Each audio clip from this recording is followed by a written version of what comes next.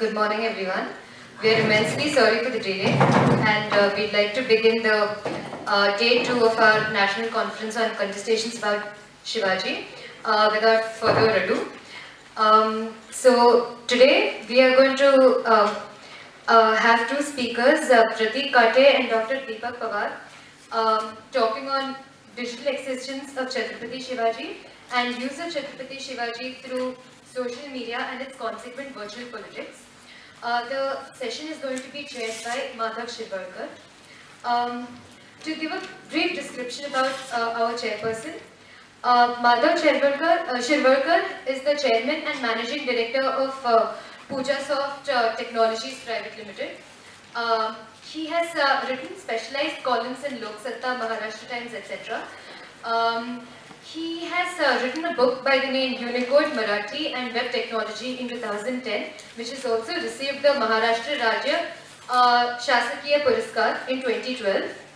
Uh, he's published uh, books based on technology uh, provided by Pujasoft and it consists about 60 titles in English and Marathi. And most recently, he has uh, uh, developed a website uh, um, named after the, uh, Mahara- uh, um, the Maharashtra historian K, uh, V.K. Rajvade. And uh, it comprises 1 lakh historical documents on Shivaji and the Maratha era. We welcome Sir and we are grateful to have him here. Um, I'd request Harshada to uh, uh, provide Sir with a token of our appreciation. So our first speaker is Pratik Kate. Um, he works for uh, for an and uh, he works as an Android developer with uh, uh, Nestopia. Um, at the age of 19, he left engineering uh, to begin a startup uh, which provided web development and training facilities to students. And by the age of 21, he had developed a mobile app called 99 Pencils, which helps students find colleges in and around Maharashtra. And this has helped around 20,000 students last year to um, understand the cutoff percentages uh, uh, and all of that. So we welcome Pratik Kate and we request uh, uh, sir to hand him a token of appreciation. Our spe- second speaker for the day is uh, Dr. Deepak Pawar. He is the Assistant Professor of the Department of Civics and Politics, Mumbai University.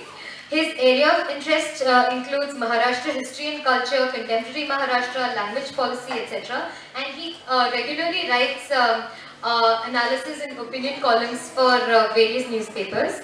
Uh, he has written uh, a book called Maratha Bhashechi uh, Ashweta Patrika and he's edited a book uh, by the name of Shikshananse Marathi Madhyam. His, uh, his three books, Post-Globalization Politics of Language in Maharashtra, Bhasha Vichar and Maharashtra Dharm are set to release soon. We welcome Sir for this session and we request Shirvarkar Sir to hello everyone. Uh, I don't know the lady's name, but she gave a introduction about me. So, that's what I am, and I'll be uh, talking about digital existence of Shivaji Maharaj. Okay, so let me begin. Um, in 19th century, on the heights of Shivneri, a world-inspiring leader Shivaji was born. He is considered as father of uh, Indian Navy. Most of us don't know about it, but I also came across when I was researching about his uh, greatness on internet. Okay, many of us are aware about his contribution to Indian history. Uh, but the question over here is apart from Maharashtra and apart from in, like uh, across borders of India, uh, do we have people those who ha- uh, have knowledge about the greatness of our great leader? Uh, we all know about his uh, like uh, what contribution he has given to lay the foundation of Maratha Emperor. Emperor, but in but is that information accessible to the world? And if a person wants to know about Shivaji, will will he be introduced to a persona which we know uh, through like from our childhood? We have been taught about uh, his uh, wars and fights through our uh, through our textbooks and all. Uh, so basically, when we want to uh, know about someone, we just Google and type into Google's uh, search about him, like Shivaji Maharaj. So basically, my analysis is we get about four lakh result about his uh, entries, we have web pages, those exist. So there are about 4 lakh web pages that give us information about Shivaji Maharaj.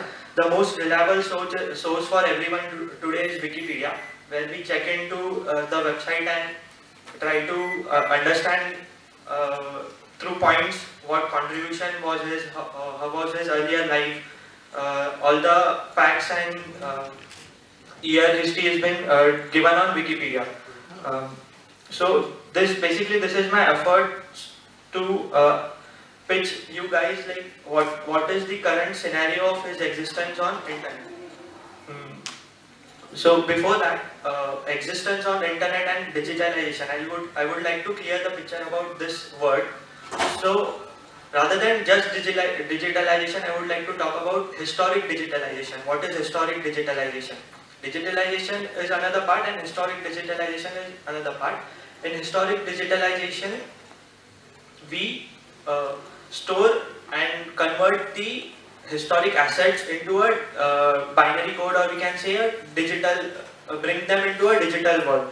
For example, if we have a, a painting, uh, we scan it and store it in uh, in a, JPEG format or we upload it in, into a cloud or on the internet so that the world can uh, see the, that painting.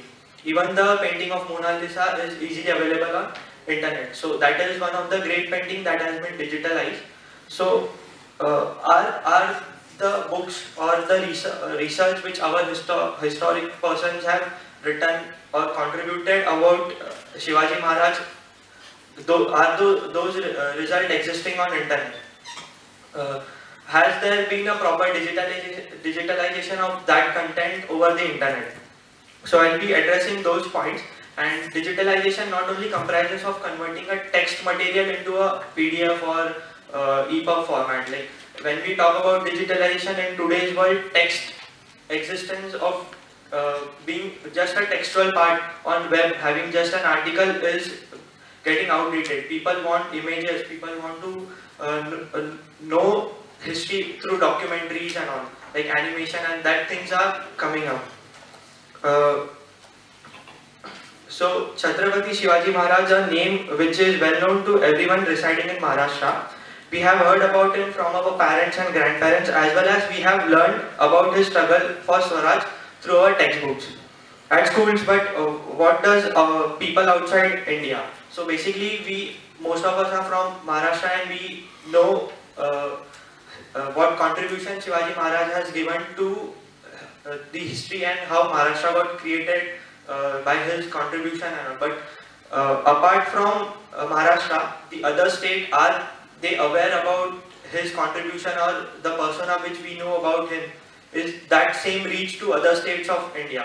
So I would like to uh, and like uh, pitch my analysis according to states India and later on on international level. So according to the states, like every, we, we all know that education part for every state has been given to that particular state, like what history you want in that particular uh, state and that particular students want to learn which part of history is completely given to the educational department for that particular state. So basically in Maharashtra we have lot to know about Shivaji Maharaj, but uh, apart from uh, Maharashtra, in other states, uh, the syllabus which those students have in history is not much related about Shivaji Maharaj. There might be one or two chapters about one or one one or two chapters about him and Maratha uh, kingdom.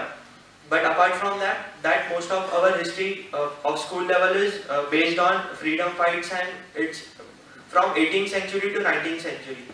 So many of the Indian Indians also don't have 100% knowledge or uh, even a glimpse of that particular knowledge about our leader.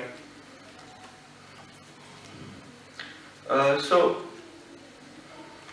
so that was about Indian like uh, scenario of Indians in uh, having a knowledge about Shivaji Maharaj. But when we when we come across any foreign person like who is visiting India, when whenever you try to ask him when he visits Maharashtra, he lands up on Shivaji Airport so uh, he he has only knowledge about that this airport has been named after a great warrior. But what was his contribution or what was why he why the place is named after him? there's nothing about his uh, history or the, there should be there should be a museum at the airport where people could know like why it is uh, named after him.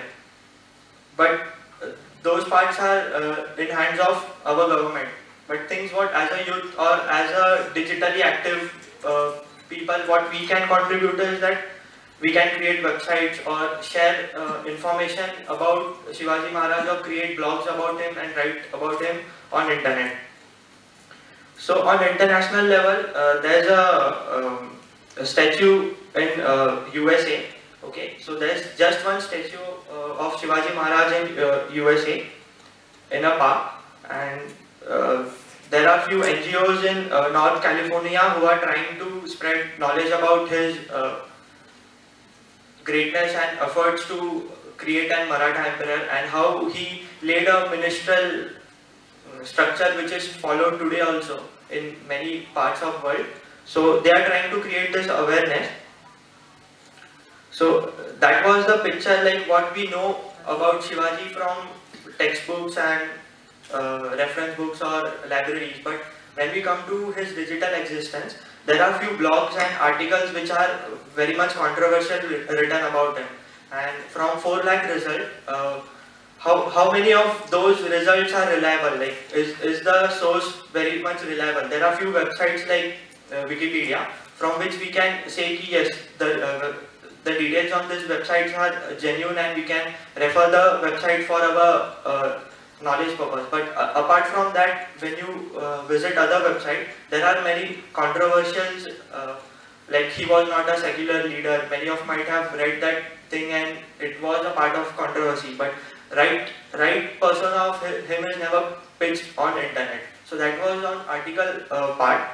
Even when you go into image search, like digital image search of Shivaji Maharaj, there are only few images. And not only his uh, images, like there is one painting which has been scanned and digitalized, but I think there are other paintings in uh, various museums and also the historic assets like uh, his uh, uh, war fights, uh, talwar and all the assets which are available on museum, they are not digitalized and the digital assets of that that is not created online. Like if if I want to know key in this museum what are the assets available related to Shivaji Maharaj. So there is no kind of uh, table of content of any particular museum like this these things are placed in this particular mu museum. So when when a historic person who wants to research about Shivaji Maharaj, when he uh, search on internet, like I want to find something related to this particular fight which was held. So which is the right place to find things or details about him. When you try to search these things, you won't get any proper uh, result. Like like compared to other other countries where where their history has been preserved and digitalized, when you want to learn about their history, they give a timeline and proper roadmap when how to start and how how what are the milestones to learn about the history. Like first step is you visit this museum and you will get to know about uh, uh, the duration of uh, 20 years fought and all the asset in this 20 years has been uh, saved in this particular museum. So there's no, there's no roadmap. Like even if a foreigner is visiting our nation, and he is very much curious and want to know about Shivaji Maharaj. So there's no path, there's no path from where to start and what is the proper channel to know the history like which museum should be visited and uh, there also there should be a digital guide while visiting the museum there should be a, a barcode scanner or something QR scanner which will uh, like Indians don't know about this kind of thing but uh, the people who visit outside uh, come outside from India are known to this kind of technology. So they should get amused like, yes, Indians are taking efforts to uh, make make world know about their leaders. So one thing is like we can have a digital uh, book or kind of things where uh, which can be exhibited outside any museum and people can just scan their phone and download those books. So that is one way we can uh, do this thing. And this thing is happening. So uh, Facebook and one more thing, like uh, when you when you visit or when you check other countries, so there are uh, there are 3D models existing of any uh, civic uh, place or any fort or thing in uh, China. Even when you Google and check uh, China's Great Wall, it, it will be shown in a 3D way. Like you can pan through the uh, Google map and check the 3D existence of the complete uh, Great Wall of China. So we should also take efforts and digitalize our forts. Like what could they have been past uh, years or our digital uh, people, those who make movies, there's, there's concept called as 3D modeling. So people can get into that and uh, visualize how our forts could have been looked and just picturize them so that people will get amused, yes. Like Indians can also build such kind of thing. They have built, but right now there's not existence. There's no existence, but yes, this could have been the picture of that particular fort.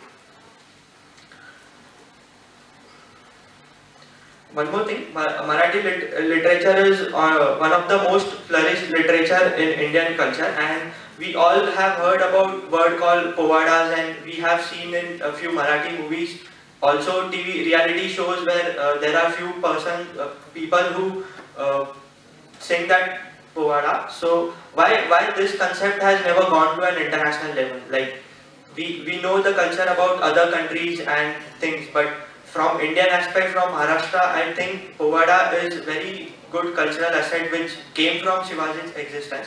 Like how, how a story can be told in a musical or great aspect through like normally we, we tell a story in uh, read like we read it and say it but Povada when you uh, when you listen to one of any Povadas you get inspired like we get goosebumps about it ki, yes we, we they motivate us. So basically this this aspect should be gone into an international level. When i tried to search povada in, on youtube i got hardly 15 results. Those were cut from uh, few of our uh, Maharashtrian movies but there is no realistic series of povadas where people can uh, know like uh, there, there are this many povadas which uh, uh, Maharashtra has given or this is the musical aspect and asset of Maharashtra uh, from uh, Shivaji's uh, age. Uh, so that was video part and what I would like to picture is what efforts are we taking to digitalize that things. Like it is not that we are not doing anything, we are taking some efforts. one of them is um, there are many ebooks available about him uh, Shivaji Maharaj, there are many e-books which are free available on internet. So one can download and read read those content. But great books like written by other other authors are not available and they are sold on Flipkart and uh, uh, Amazon. When I checked like what is the stock of those books, so there are only two books left and that kind of thing. So even the e-commerce market or uh, e-commerce industry which is into book selling is not much uh, like they, they don't, don't have an asset of those books so where to find those books so the question is like there should be a digital library uh, stating uh, Shivaji Maharaj ebooks.com something like that where people can directly find and search ebooks. They don't need to be dependent on Google. Directly we can have every day we can contribute few ebooks and convert them. Like this is the easiest efforts which we can take. We just have to scan books or if we have them there are many software which help them to convert it. So that that could be the first step of dig, uh, digitalization. So th there is one uh, university in U USA which has digitalized uh, his content and the name of the university is University of California so they have around about uh, 50 to 100 books which has been digitalized and present on their website. So students from those universities, if they want to know about him, they can download those books. But is the scenario same in our university, like in India? Uh, do, do our university have the digital assets of books where student can download those books and uh, read them while traveling or get to know about our uh, heroes? So one, that was about university and even Microsoft has contributed there's, there's a MSN network of Microsoft which basically digitalize all ebooks, same as Google Books. Uh, there's a but Google Books are not having much about Shivaji Maharaj. So Microsoft Networks Books is having a lot of uh, digitalization done of Shivaji's contribution and his textual or books available on internet. So now, now I would like to say that it is like the right time for Indian universities to digitalize and uh, add those assets on our website. Um, so that even the person who is not related to that university or is outside of that particular state of India can uh, get and learn, learn from that thing. And le- now next part is like what what is the like we have seen many documentaries and histories about Napoleon and uh, there are many movies created Hollywood movies created on histories about about these people. So what what what is the uh, like uh, movie context of Shivaji Maharaj? Is he available in into movies then yes like there are few Marathi movies like there are few Marathi movies uh, which uh, have given him a space in Marathi cinema, but the same part is not in Bollywood. You might never find a movie about uh, in Bollywood. Recently, there was a movie uh, which had a love story and like that came into picture because it had a love story. But apart from historic point of view, we don't have any book So quickly, I would like to conclude like by saying this. Shivaji Maharaj information, like we we should make make sure that his greatness will stay longer with our current and coming generation. Books can't be kept for long, nor can the information in books can cross borders. But yes, digital data is always accessible to everyone who is connected to internet. We must collectively make efforts to spread knowledge about Shivaji Maharaj through digital medium. Historic organization or Maharashtra government must pitch Shivaji Maharaj as an inspiring figure which will motivate our youth, our youth in every aspect of their career. His values must reach to those who will run our nation in coming years. His values must uh, and his lessons, management lessons must be taught to our uh, coming generation. And to do so, we must take aid of digital tools every one of us has witnessed the importance and rapid growth of internet so let's uh, let's keep the flame of our leaders alive on digital world मित्र माझ्याकडे थोडीशी बदली कामगाराची भूमिका आहे या सत्रातले तुमचे जे वक्ते होते अविनाश वीर ते काही वैयक्तिक अडचणींमुळे येऊ शकले नाही. आणि त्यामुळे ऐनवेळी इतर काही अभ्यासक मंडळींशी संपर्क साधला पण तो होऊ शकला नाही. त्यामुळे कमी तिथे आम्ही या न्यायाने मी दहा मिनिटांचं मनोगत मांडणार आहे बोलणार आहे.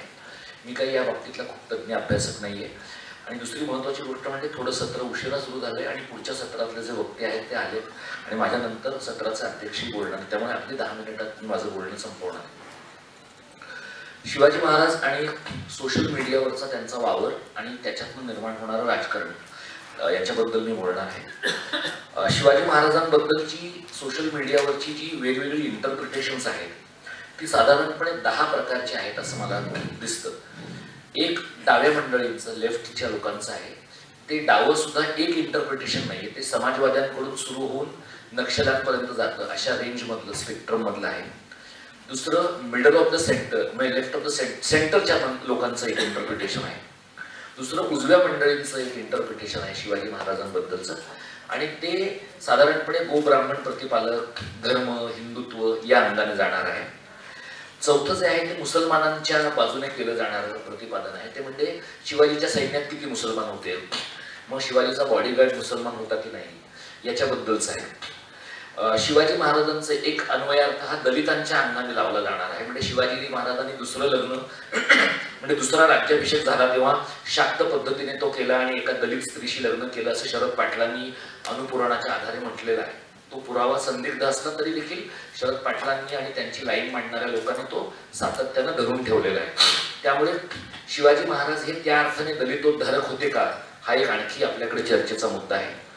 जेंडरच्या अंगाने शिवाजी महाराजांचा विचार करणारे काही लोक आहेत. म्हणजे शिवाजी महाराजांच्या राजकारणाकडे मॅस्क्युलाईन अंगाने पुरुष सत्ता अंगाने पाहता येतं का असा विचार करणारे लोक आहेत.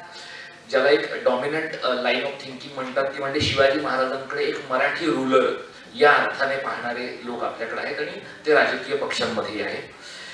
हिंदू राजा या अर्थाने म्हणजे जे राईटवाले आहेत ते सगळे हिंदू राजा या एका ब्रॅकेटमध्ये शिवाजी महाराजांकडे पाहणारे नाही आहेत म्हणजे त्यातल्या काही लोकांना शिवाजी हा एक आयसोलेटेड आयकॉन वाटत नाही.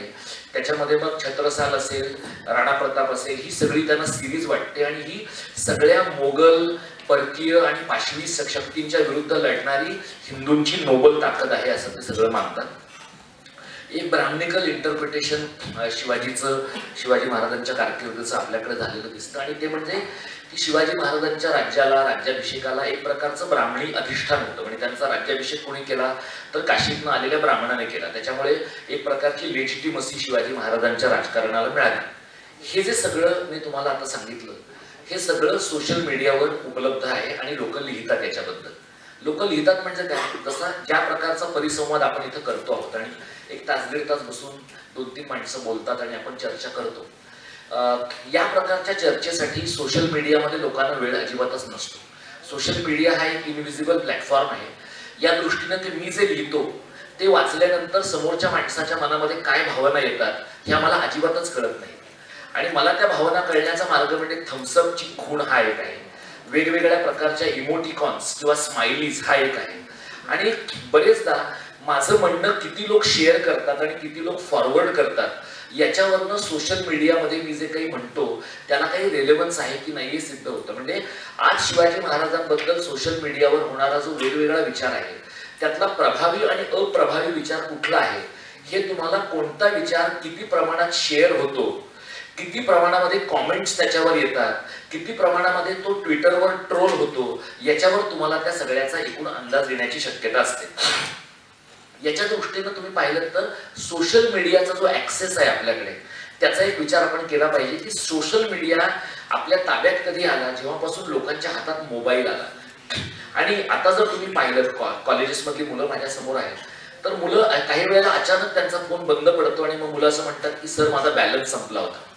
मग हे जे बॅलन्स संपणाऱ्या एकूण जगामध्ये राहणारी जी मुलं आहेत त्यांच्या दृष्टीने त्यांचा डेटा पॅक त्यांचं बॅलन्स त्यांचं रिचार्ज कुपन या सगळ्या स्फिअरमध्ये त्यांना मिळणारा जो स्पेस आहे त्याच्यात त्यांचा शिवाजी सीमित आहे. म्हणजे त्याच्या पलीकडच्या जगामधला जो शिवाजी आहे तो त्यांच्यापर्यंत पोचतोच असं नाही.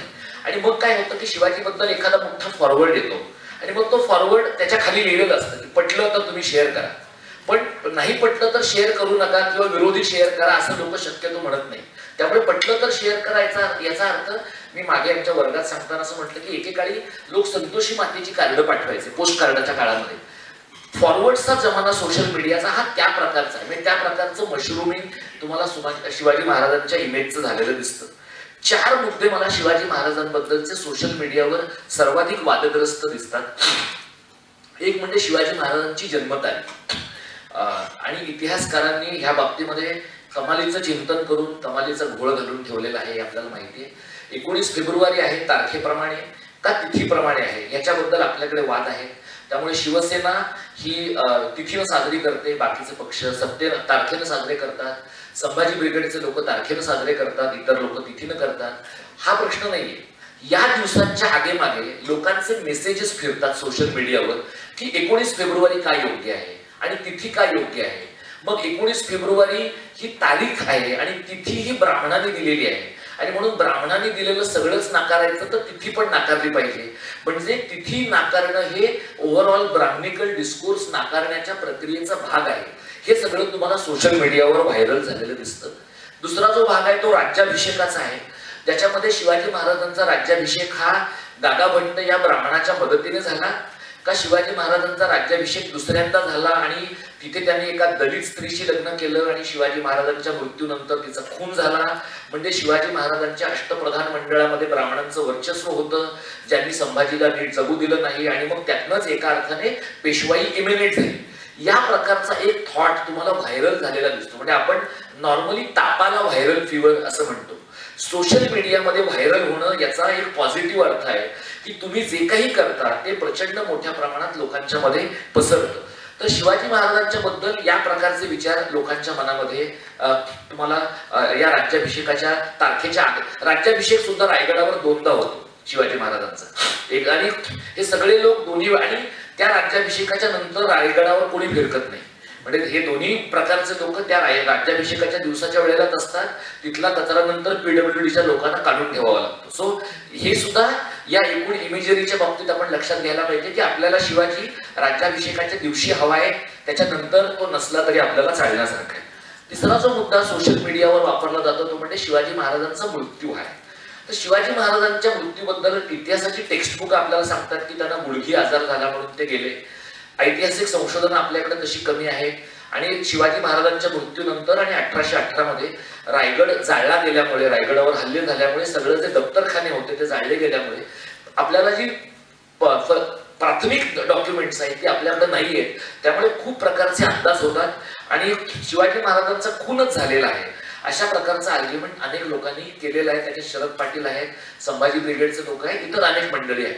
मी इथे त्यांचं बरोबर आहे की चूक आहे हे सांगायला उभा नाही. माझं एवढंच म्हणणं आहे की शिवाजी महाराजांच्या मृत्यूबद्दलच्या ज्या कॉन्स्पिरसी थिअरीज आहेत त्या आता साठी सत्तरीत असलेल्या लोकांपासून पंचवीशीत असलेल्या मुलांपर्यंत सगळ्यांच्या पर्यंत त्या येतात आणि त्या पोचतात.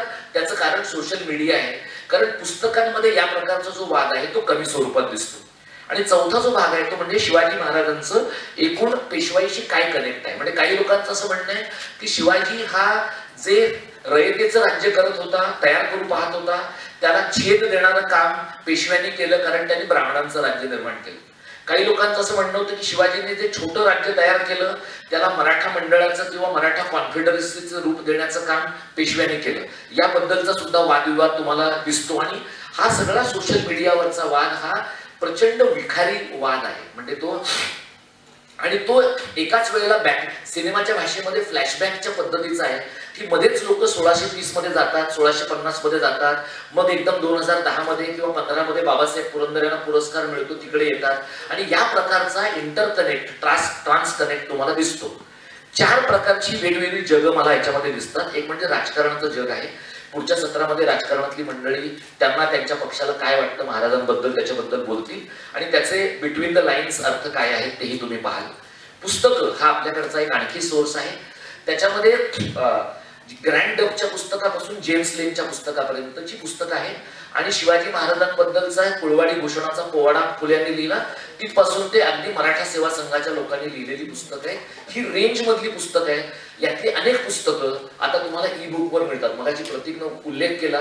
तो म्हणजे तरुण माणसांना आपल्या आयडिओलॉजीने इनडॉक्ट्रिनेट करण्यासाठी लोक नवनवं तंत्रज्ञान वापरत आहेत त्यामुळे सोशल मीडियाचं तंत्रज्ञान सोशल मीडिया ही काळाच्या पुढची गोष्ट आहे. पण ती काळाच्या पुढच्या गोष्टी सांगण्यासाठीच वापरली जाते असं समजण्याचं काही कारण नाही. तिसरा जो भाग आहे तो म्हणजे सिव्हिल सोसायटीचा. सिव्हिल सोसायटी जी आपली आहे त्याच्यामध्ये विविध प्रकारच्या सामाजिक राजकीय सांस्कृतिक संघटना आहेत. त्या आपापल्या पद्धतीने हे सगळं करत राहतात. दोन शेवटचे मुद्दे मांडतो आणि मी थांबतो. सोशल मीडियाचं स्वतःचं एक इकॉनॉमिक्स आहे. म्हणजे प्रत्येक माणूस फेसबुकवर काहीतरी पाहतो व्हॉट्सअपवर काहीतरी पाहतो. त्यावेळेला त्या माणसाला स्वतःचे पैसे खर्च करावे लागतात. आणि त्यासाठी त्याला मोबाईल व्हावं लागत नसतं म्हणजे लायब्ररीत जावं लागत नसेल पण त्याला सर्व करावं लागतं. त्याला काहीतरी पैसे खर्च करावे लागतात. आणि याच्यामध्ये त्या माणसाचा एकूण मेंटल प्रिऑक्युपेशन किती आहे त्या सगळ्या प्रोसेस मधलं ह्याच्याबद्दल मला कधी कधी शंका वाटते. कारण तुम्ही जर व्हॉट्सअपच्या ग्रुपवर असाल तर अनेक ग्रुप्समध्ये तुम्ही तासभर जर तुमचं व्हॉट्सअप बंद ठेवलं तर एक तासाने अचानक तुम्हाला पाचशे नोटिफिकेशन तुम्हाला आलेले दिसतात. आता ह्या पाचशे नोटिफिकेशन्समध्ये मध्ये बहुतांश नोटिफिकेशन लोकांनी एकमेकांची वाचलेलीच नसतात. पण तरीही लोक फॉरवर्ड करतात. म्हणजे जसं या आता आपण जसं इथं जगलो आहोत आणि हा जो पब्लिक डिस्कोर्स सगळा आहे याच्यामध्ये आपण म्हणतो की लोक समोर तर बसतात पण लोक ऐकतातच असं नाही. तर तसंच सोशल मीडियामध्ये लोक फॉरवर्ड खूप करतात. पण लोक विचारपूर्वक विचारपूर्वक म्हणजे मी त्यांचा जो काही विचार असेल तो विचारपूर्वक. त्या विचाराने तरी काही गोष्टी मांडतात का? असा एक प्रश्न मला पडतो. आणि शेवटचा मुद्दा मी आपल्या पुढे मांडतो की सोशल मीडियाचा वापर हा एकूण लोकशाही प्रक्रियेसाठी आपल्याला होतो आहे. म्हणजे शिवाजी हा माणूस सोशल मीडियामुळे आपल्याला जास्त कळला का त्याच्यामुळे आपले पूर्वग्रह जास्त पक्के झाले? म्हणजे मला वाटतं काल एक एकाशी माझं जनरल बोलणं झालं आपल्या एका सत्रानंतर तर त्यांचं असं म्हणणं होतं की सगळ्या मंडळींनी ऐतिहासिक मांडणी काही करून झाली अंतिमतः. तरी बाबासाहेब पुरंदरे म्हणतात त्याच निष्कर्षाला तुम्ही पोहोचणार आहात. आता बाबासाहेब पुरंदरे पोचतायत तो निष्कर्ष वस्तुस्थितीला धरून नाही असं मला वाटतं. पण असं मला वाटतं आणि लोकशाहीमध्ये मला वाटण्याचा अधिकार आहे आणि लोकांना ते अनुल्लेखानं मारण्याचा अधिकार आहे. सोशल मीडियावर असं होतं की बाबासाहेब पुरंदऱ्यांचे स्वतःचे भक्त आहे तसे संभाजी ब्रिगेडच्या खेडेकरांचे स्वतःचे भक्त आहे आणि या सगळ्या प्रक्रियेमधनं एक प्रकारचा विलक्षण फेनॅटिसिझम येतो. कारण या सगळ्या प्रक्रिये म्हणजे राजकीय चळवळी करणारी जी माणसं आहेत ना त्यांना रस्त्यावर उभं राहून काहीतरी करावं लागतं. कारण त्यावर काहीतरी लाठीचार्ज किंवा तुम्हाला काहीतरी त्रास होऊ शकतो. सोशल मीडिया हा त्या दृष्टीने कमालीचा फेसलेस आहे की तुम्ही घर बसल्या कितीही क्रांतिकारक घोषणा देऊ शकता. त्यामुळे तुम्ही जर पाहिलं तर जय भवानी जय शिवाजी असं साधारणपणे महिन्यात एक दहा कोटी वेळा तरी लोक महाराष्ट्रातली म्हणत असतील. त्यातल्या एक शतांश वेळा जरी लोकांनी शिवाजी महाराजांबद्दल जेन्युन काही वाचण्याचा प्रयत्न केला तर कदाचित परिसंवाद घेण्याची वेळ नाही येणार आपल्यावर. पण मला असं वाटतं की या प्रकारचं फेसलेस असणं इनॅक्टिव्ह असणं आणि लेथार्जिक असणं हे सुद्धा सगळ्या आयकॉन्सच्या बाबतीत घडतंय. तसं शिवाजी महाराजांच्या बाबतीत घडतंय का? हा एक विचार आपण या निमित्ताने केला पाहिजे. आपण आम्हाला शांतपणे ऐकून घेतलं. मी आपला आभारी धन्यवाद. पुढील सत्राचे वक्ते इथे उपस्थित झालेले असल्यामुळे आणि थोडासा वेळ उरलेला आहे त्याचं चीज करण्यासाठी अध्यक्ष म्हणून मी इथे उभा असल्याने मी पटापट माझे मुद्दे तुमच्यासमोर ठेवून हा परिसंवाद समारोप त्याचा करणार आहे. माझे दोन्ही सहकारी वक्ते अतिशय चांगलं बोलले. त्यांनी बहुतेक सगळे मुद्दे या मूळ विषयाशी आपला मूळ विषय आजचा आहे की शिवाजी महाराजांचं डिजिटल मीडियावरचं अस्तित्व आणि त्याविषयी चाललेली चर्चा. असा एक साधारणतः आपला मध्यवर्ती आजचा विषय आहे. आणि त्याच्यावरती काय चर्चा करायची कारण इतकी चर्चा सोशल मीडियावरती चाललेली असते. आपल्यातला प्रत्येक जण पाहतोय आपल्यातला प्रत्येक जण त्याच्यामध्ये भाग घेतोय तो. ट्विटरवर बोलतोय तो. फेसबुकवरती बोलतोय तो. आणखीन काहीतरी व्हॉट्सअप वरती सांगतोय. आता त्या संदर्भात आणखीन काय सांगायचं? काय चर्चा करायची? काय अभिप्रेत आहे त्या चर्चेमध्ये? असा एक प्रश्न माझ्यासमोर आहे. आणि एक माध्यम म्हणून ज्यावेळेला मी सोशल मीडियाकडे बघतो त्यावेळेला माझा एक मोह मला असा होतो की इतर मीडियांशी त्याची तुलना करून बघावी. कारण शिवाजी महाराज हे सोळाशे तीस सोळाशे ऐंशी पर्यंत त्या पन्नास वर्षामध्ये त्यांचं आयुष्य होत. मधल्या भागामध्ये त्यांचं कर्तृत्व होतं.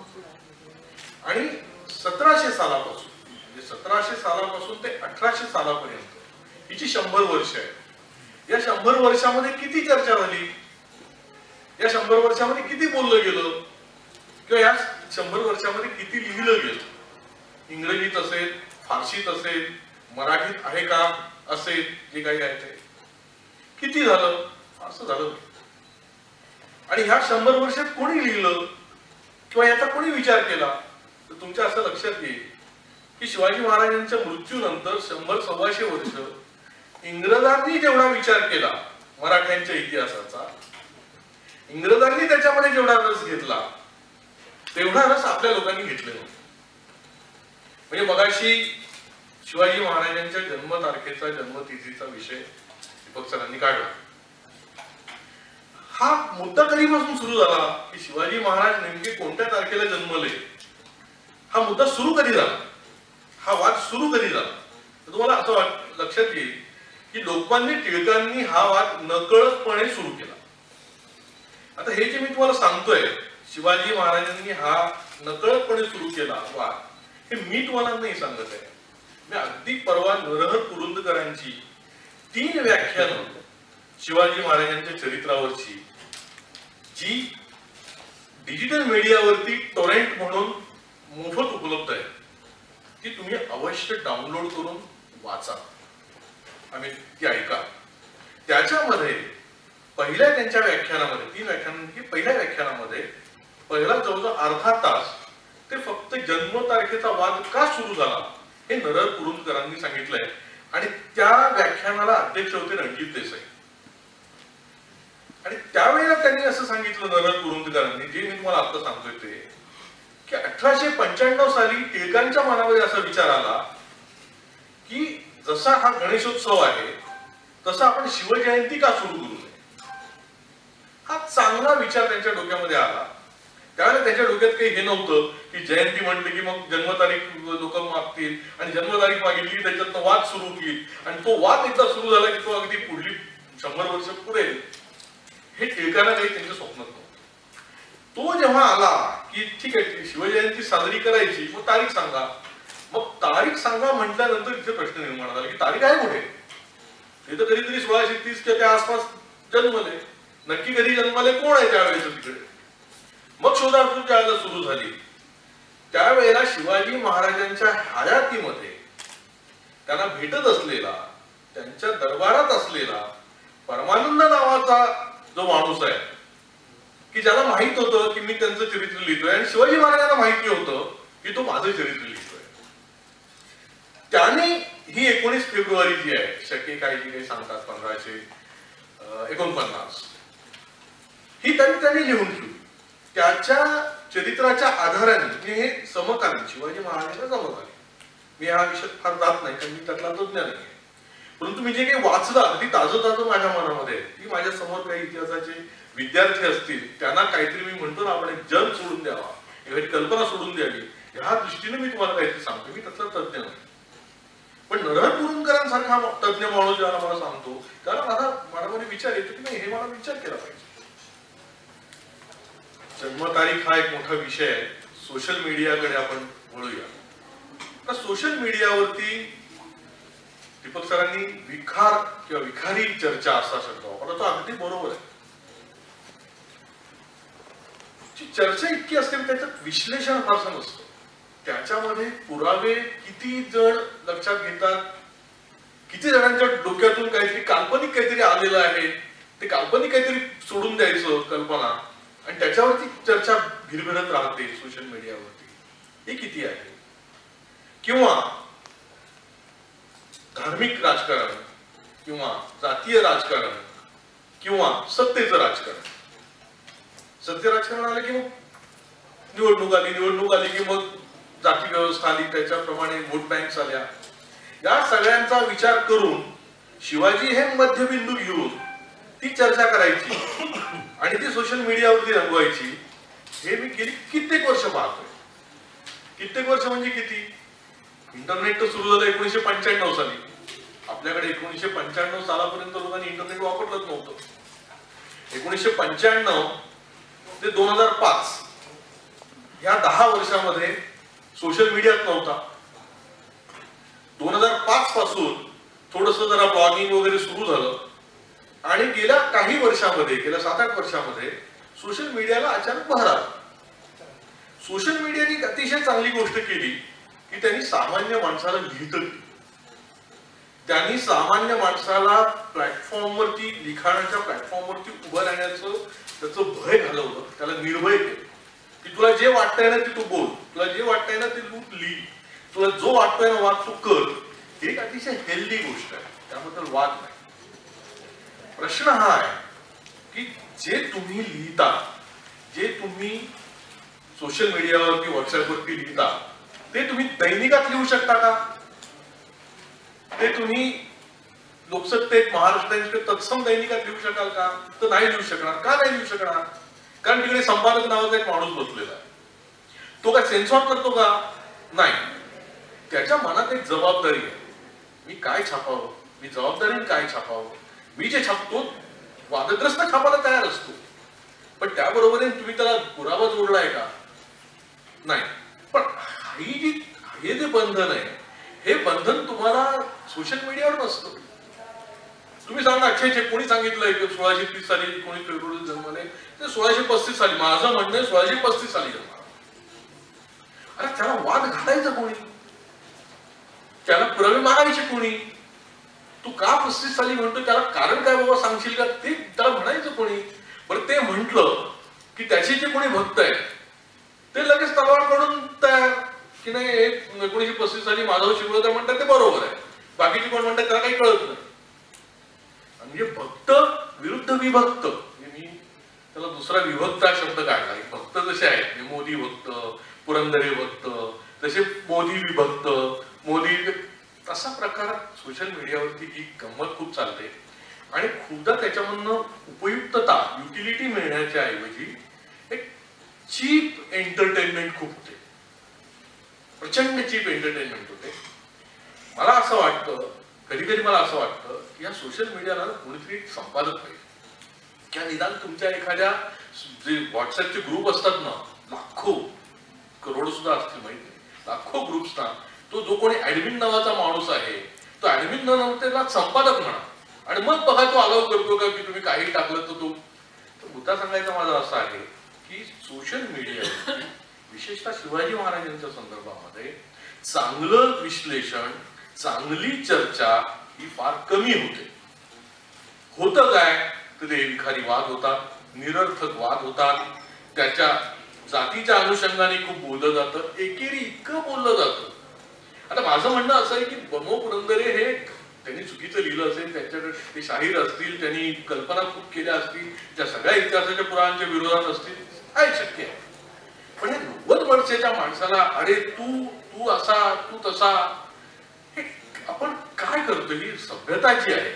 ही सभ्यता जी सगळे दैनिक मानतात. जी अं, कुठे आपल्याला साधं बोलताना एखाद्या नव्वद वर्षाच्या माणसाला एखाद्या अरे तुरे करावं पचत नाही की आपल्या महाराष्ट्रीयन जी जी आपली संस्कृती त्याला टिकत नाही म्हणजे आपल्या कानाला रुचत नाही. मला सांगायचं असं की सोशल मीडिया हा गेल्या सात आठ वर्षातला असल्यामुळे अजून मुळामध्ये तो मॅच्युअरच झालेला मी काय लिहिलं पाहिजे? मी कशा प्रकारे त्याला कॉमेंट केली पाहिजे? कशा पद्धतीने मी त्याच्यावरती माझी प्रतिक्रिया दिली पाहिजे? हे लोकांना अजून नीट कळलेलंच नाही. त्या संदर्भातले नियम नाही. हा पूर्णपणे मुक्त असा मुक्त असं माध्यम आहे. आणि ह्या मुक्त माध्यमाचा त्याला आपण म्हणतो लहानपणी शाळेमध्ये एक हमखास विषय असायचा की स्वातंत्र्य म्हणजे स्वैराचार नव्हे. या विषयावरती तुम्ही लिहा. स्वातंत्र्य म्हणजे स्वैराचार नव्हे हा स्वैराचार ह्या तुम्हाला सोशल मीडियामध्ये खूप मोठ्या प्रमाणावर दिसतो. ज्या विषय